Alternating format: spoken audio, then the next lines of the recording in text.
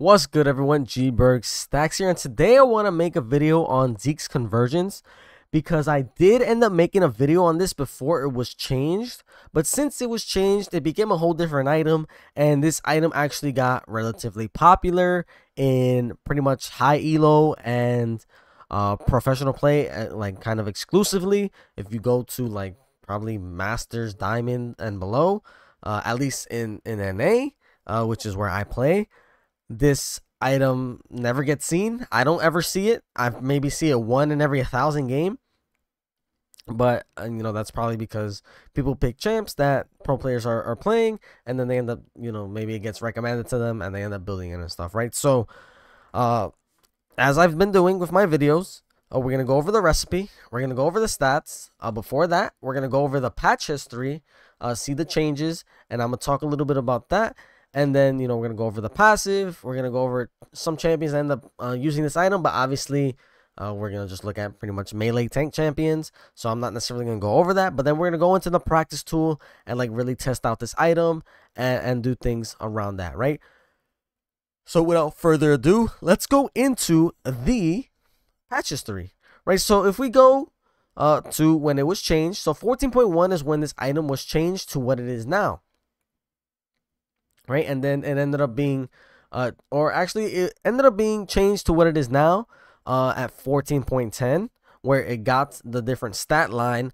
But 14.1 is where the passive got changed to something different, right? And I want to talk about this because even the old, I believe that the old, what is it, Zeke's was a lot better than the new Zeke's in terms of the passive. Obviously, the new Zeke's, the stats that it has, where it gives you armor, MR, haste, and HP. That's amazing. That's everything that you want in an item, uh, you know, as a support.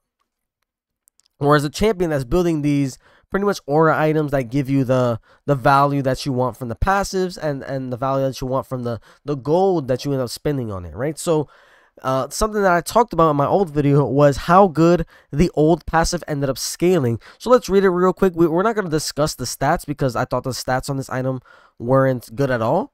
But we're going to go over the passives, right? So it had the, the conduit uh, passive. It was an active passive where you designate a target allied champion as the accomplice, forming a tether between you and them. And the champions can only be designated as the accomplice by one Zeke's convergence at a time. So this was kind of, it had the thing where of like um what's this item called? It's up here.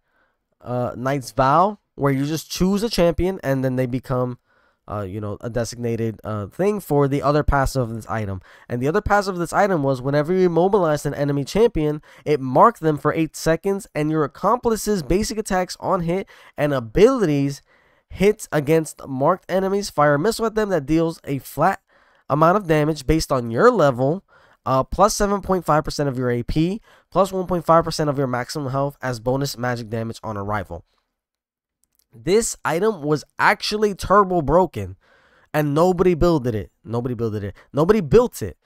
Like, not only was the base damage a lot more than, you know, Ardent Censer, more than a couple items. Uh, this was before, I think it was like this uh, since 10.25 uh, which was before the the the update where they ended up giving everybody more base stats, more base HP, more more armor, more MR, stuff like that. So the passive was the same and dealt the same amount of damage uh, in a time where damage was uh, well meant a little bit more.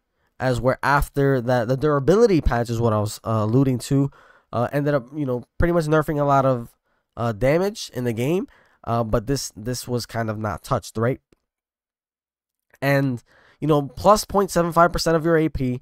Most of the the like the tank champions that end up buying this are like necessarily they're like AP scalers, and this wasn't that big of a deal except for some champions that I believed were actually like just super good with this. You know, somebody like Galio, somebody like Swain, who are going to buy AP, but then you can end up taking this item and you know just helping your team deal more magic damage. Or you know, if you have a carry, uh, you can end up buying this and it, it's gonna be really good. But this isn't even the biggest part. The biggest part is that you know 1.5% of your maximum health uh, ends up having that scaling on this item, which is you know pretty good, right? Especially after the durability patch. A champion with 2k HP would end up giving pretty much 30 of flat damage because of this, right? And then let's say you're you get that you get 2k HP at level 11. It's already dealing 53.53 uh you know plus that 30 uh flat magic damage. You're you're giving them 80 magic damage on hit uh plus whatever your AP is. More than likely, let's just say it's 0. That's a good amount of magic damage, right? And that's for 8 seconds as long as you immobilize them. So slows don't matter. It's all about CC, knockups, stuns, roots, there's probably some other ones. Uh, I don't think grounded works. Uh, maybe it says it right there. Uh, suppressions, stasis. So I'm guessing this could work on Bard.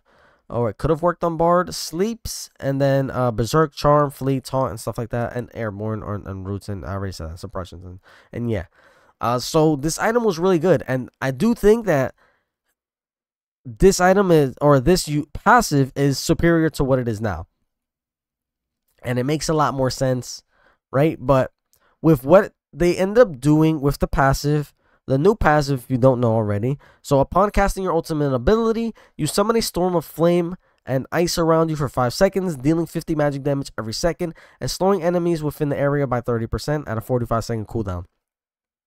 So they pretty much capped the damage and made it more so that the user of this item gets the, the power from it or the damage from it, which is you know a little better for you know it makes you feel a little better as the tank player where it gives you a little bit more uh, carry potential where if you you know you're able to get on top of the enemies and you get on top of five of them uh, this ends up dealing you know a pretty handsome amount of damage right? 50 damage every second for five seconds. You if you know an enemy champion is on it for the entire duration. It's a full 250 magic damage uh, that doesn't scale and that obviously that's before resistances are calculated or that's pre-mitigation damage. Uh, and if you're on top of all five of them you can end up dealing 1250 damage pre-mitigation uh, in, in the fight right? But that compared to the 8 seconds and with a champion that can end up having 2.0 attack speed uh, 2.5 attack speed uh, you giving them 80 bonus damage for 8 seconds is kind of wild, no? Uh, you know, they if they have two two attack speed and they get to auto attack for eight seconds, which is you know not really going to happen. They get, but obviously you getting this is like the best case scenarios, and also this can this works on Runaan's things like that. We'll just say single target for right now. Uh, and let's say it deals 80 damage, 16 times 80, 16 times 8, you deal 800, you deal 1200 so it's the same amount of damage but this can obviously scale way better because it has scaling and then it has another outside scaling which is the attack speed of, of the champion that you designate as the conduit or the accomplice and you know there's items like i said Runaan's that can end up making the on hit damage spread out a little bit more. And then it also works on spells. So not just auto attacks and things like that right? There's there's champions like varus uh Xayah uh, Sivir and stuff like that that are like spell slingers and that also have well obviously you have to be immobilizing the champion and stuff like that and, and in order for them to even be marked in the first place as where uh, the new one all you have to do is throw out the ultimate and, then you also get a nice little slow and stuff like that right so in my opinion right some good changes that they ended up doing to the item was changing the stats. That that was amazing, right? It used to be simply an, an armor item, but they lowered the armor, added magic resist, and made it very, very good. Uh, and then you know they increased the health, uh, uh, lowered a little bit of the ability haste, but that doesn't necessarily matter. And you know got rid of the mana. The mana, uh, especially if we look at the game now, the only champions that really need bonus mana are like a niche amount of ADCs, and then um, like mage mid laners, and that's pretty much it. Right? Junglers, if they have the if they have the jungle item, they don't need mana items. Uh, supports don't need mana items. Uh, unless you're a mage support, but then you know that you just fall into the mage class, right? Uh, and then they have their own items for this. Now, even like tanks don't need it. So mana outside of a specific class is not even that good of a stat. because you don't get as much value from it as somebody like a mage would. So this was a great change, but I think that the new passive is not as good. It does make you feel like you have more agency because obviously, you know, for lower level uh players, you know, not only making not only did they say the active items have like a harder time being used for lower level players uh, because you know you have to remember to use the active you have to put the active on the correct person in order to get the most value from it and stuff like that and then you know you need the the person who you have the active on to actually hit the the champions that you immobilize. And you know there's a whole bunch of problems with that making this passive more like high level skewed but you, you still didn't even see high level players do that as opposed to the new item where as long as you throw your ultimate even if you miss it even if you hit it even if you hit the best ultimate in your life or you hit the worst ultimate of your life right? You're going to have this item do something which is kind of where they went for it uh that's you know kind of not the best thing especially since we we kind of still have items in the game that are you know not necessarily so uh, low level friendly stuff like Knight's Vow, uh, which is still kind of a little easy, right? You put it on someone, you're still gonna get the value. But Locket, it's an active item uh, that also has range and stuff like that, and there's like uh, some some things like that, right? But that's just my rant on the new one versus the old one and things like that, right? If the old Zeke's that had this passive got the stat change, I think it would have been an amazing item that probably would have gotten nerfed and probably would have seen some type of metas formed around it. In my opinion, I would be abusing it. but yeah, let's go to the recipe. Let's go to the stats and then let's see how it works in the game, right? So if we go through the recipe, Zeke Convergence cost 2,200 gold. Standard for the support items, I think it's a very good, uh, like gold cost in terms of you know what the support champions want and then it's also good in the fact that you know a tank jungler can end up saying i want to go low low gold cost items that give me good effectiveness and you know sacrifice me being able to carry games uh, by not getting stuff like sunfire or or you know these these higher gold items which are actually just not better than a lot of the cheaper items in the game which is a, it's pretty weird right? Something like Thornmail should give you more value than something like Locket, but uh, only in, in specific cases will it, uh, and and things like that, right? Uh, not even specific, but in in certain cases it will, and, and stuff like that. And then you need you know items to make that one stronger, as where something like Locket is just already amazing by itself. Something like Zeke's is going to be good by itself as a first item purchase and things like that. Yada yada yada, right? Uh, and a, a, good amount of the portion that the gold cost is in Thornmail is in something that has a condition in it, which is a healing reduction, right?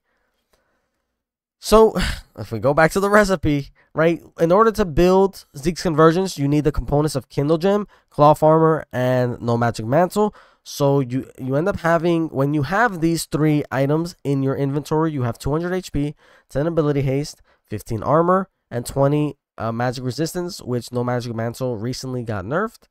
Uh, and when you have these items in your inventory, you need 700 gold to complete Zeke's Convergence. I think that's completely fine.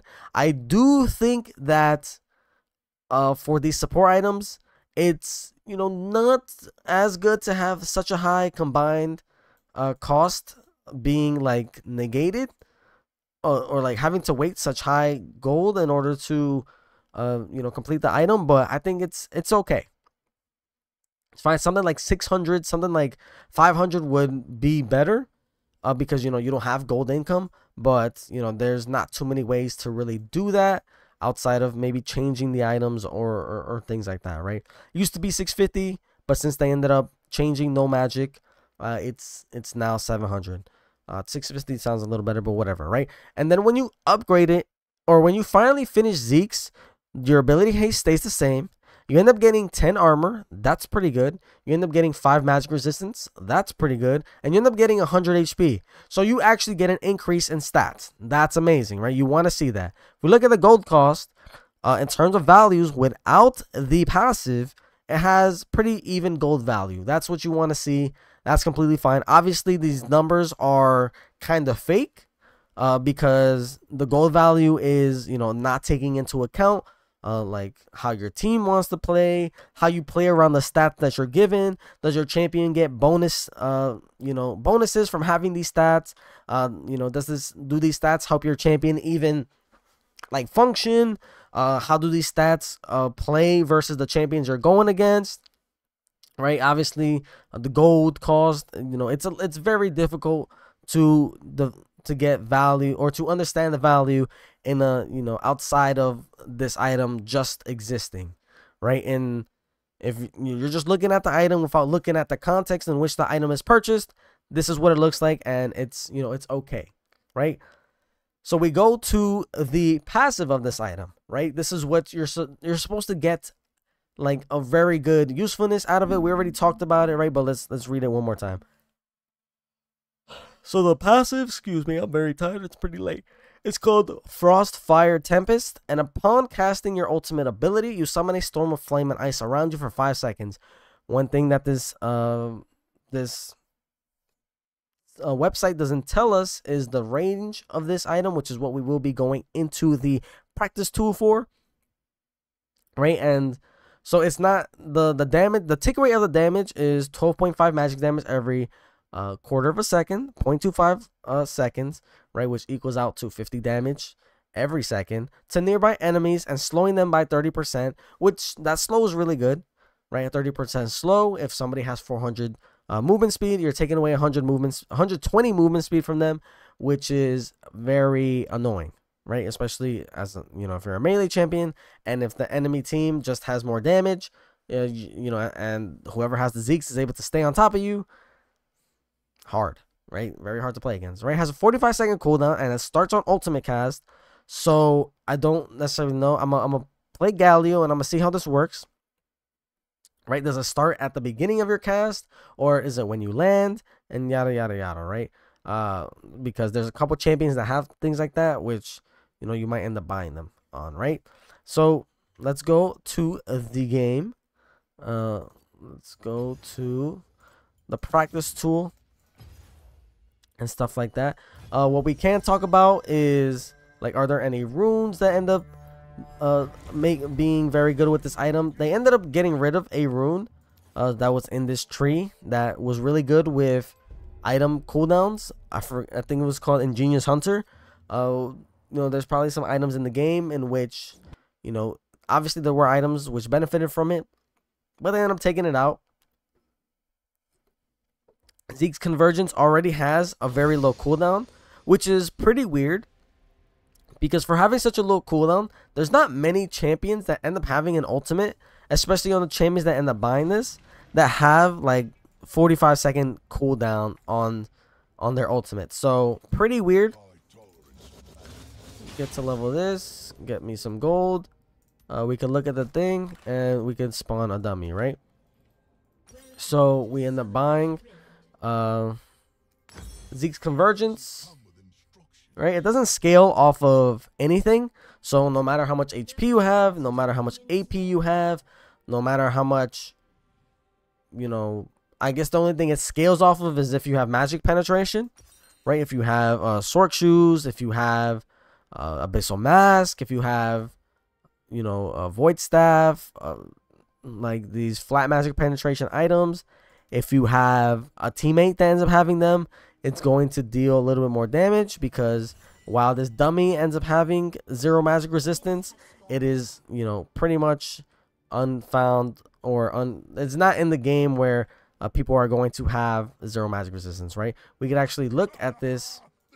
We could actually give this uh, champion or this thing.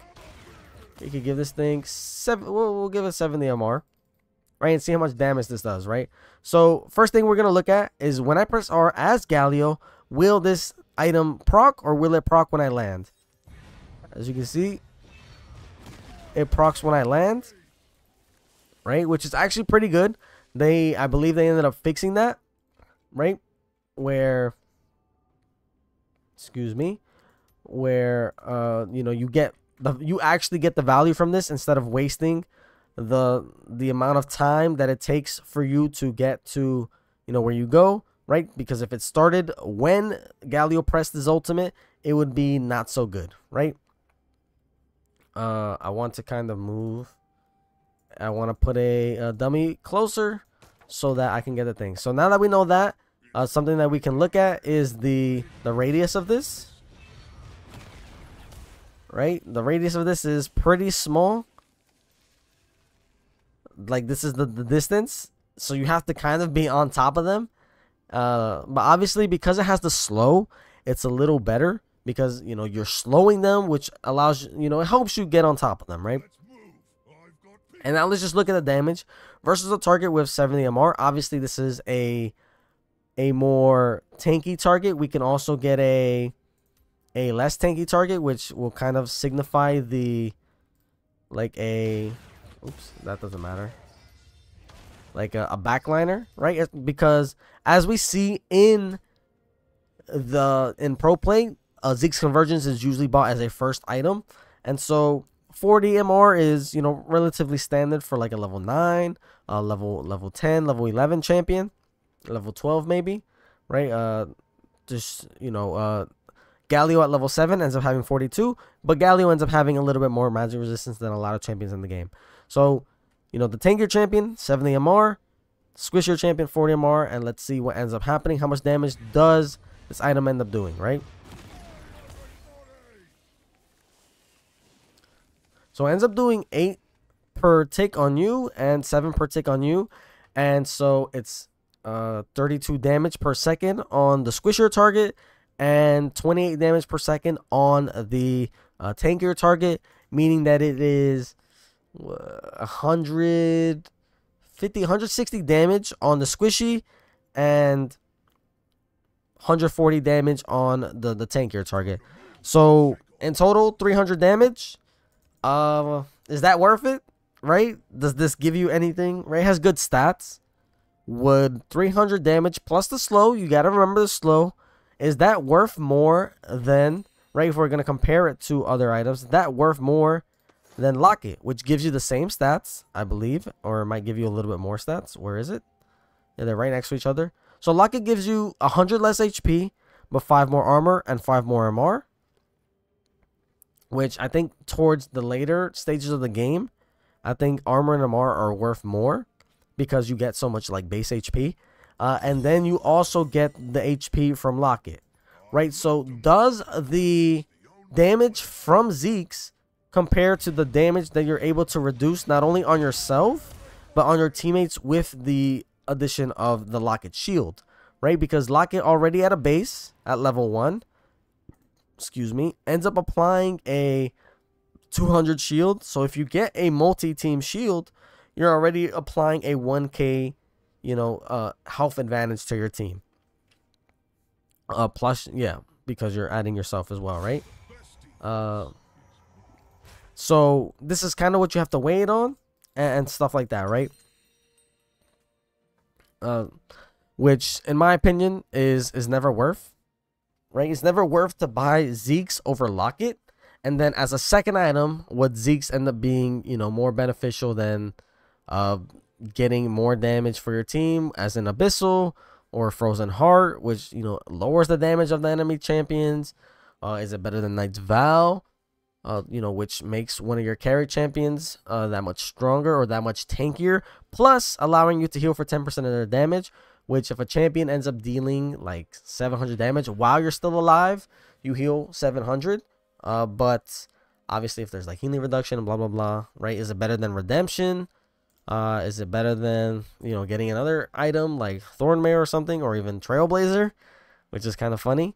Uh, if you saw my video before, so, yeah, like Zeke's right now, I think is in a pretty bad spot. People are buying it, which is pretty funny because you know why would you ever buy Zeke's? Uh, it doesn't give you anything. If Zeke's gave you ultimate ability haste, would it be really good? Right? If it give you 30 ultimate ability haste, uh, which can be found in this item, uh, experimental hex plate, right? So we look at Uh, they, they give the same amount of ability haste, so that doesn't matter, right? If we look at the ultimate, it has 145 second cooldown, right? If we get this, that gives you ultimate ability haste, it goes down 30 seconds.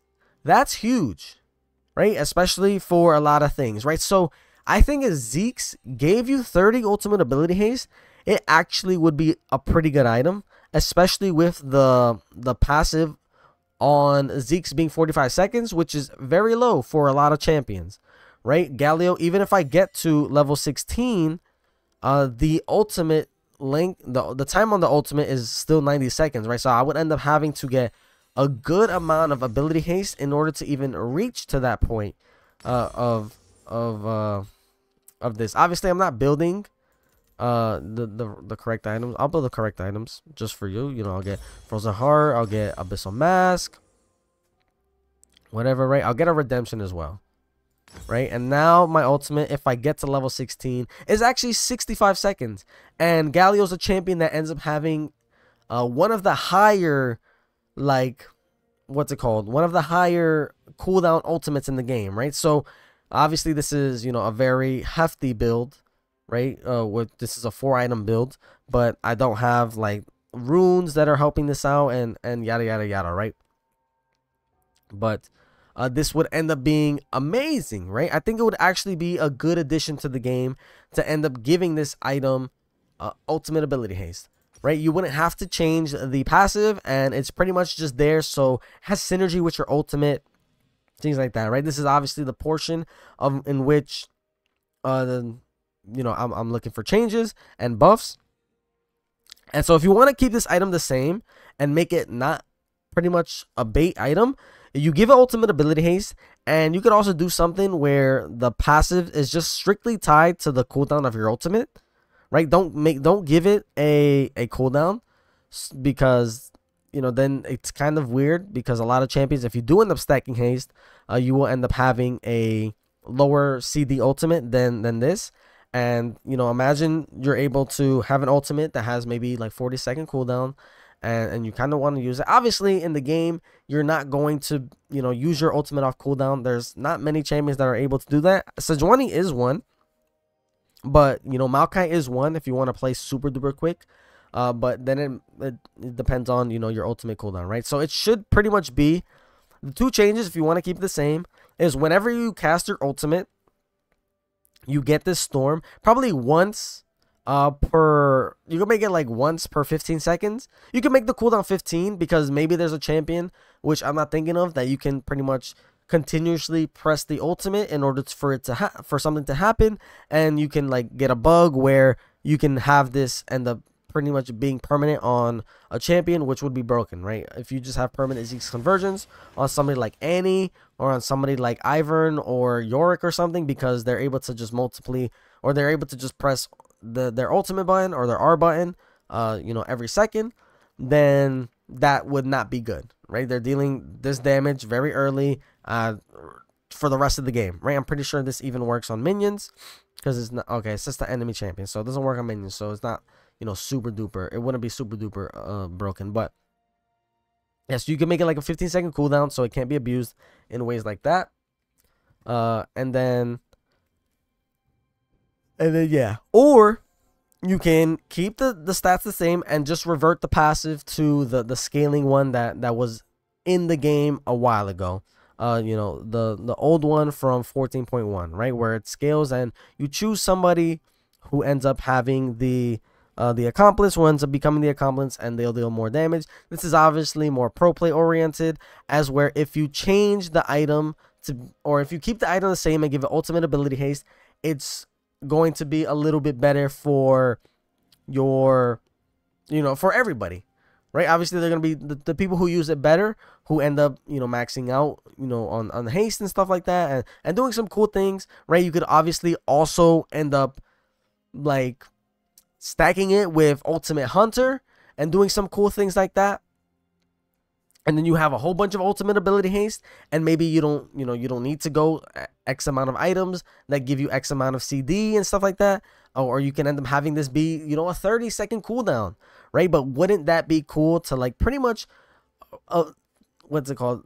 Like surround or like do a build around one item or, or kind of just like continuously make this item better through other means uh, and stuff like that right? I think that would be a really cool thing to kind of make Zeke's a little bit more of a niche item, right?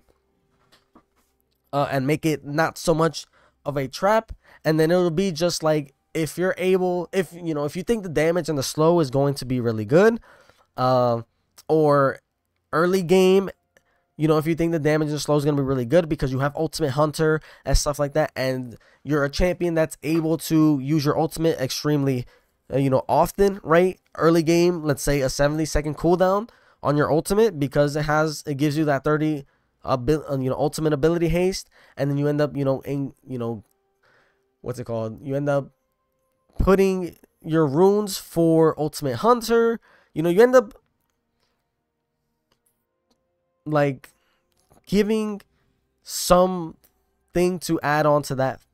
You end up investing into you know your ultimate ability through runes through this item and stuff like that. And and you just constantly pick fights when your ultimate is available so you get some you get actual value out of this uh as where the locket has 90 second cooldown and stuff like that right? So i think that would be very cool. Those are two ways that i believe uh, you can make zeke's actually good because right now it's it's it's okay but compared to items like locket uh which is probably uh, just the one that you want to compare it to because it has very similar stats, same uh, same like gold cost.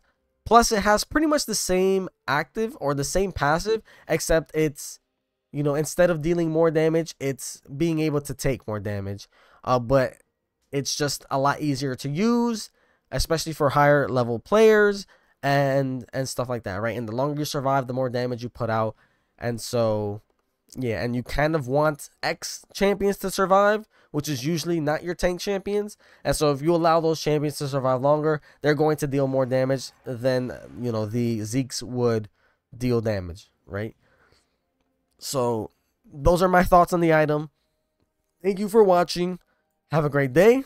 I hope you learned something. I hope you know you're out there doing doing good, right? Doing good for yourself, doing good for others uh, and, and, trying to make this place, uh, you know, better for everyone. So have a great day.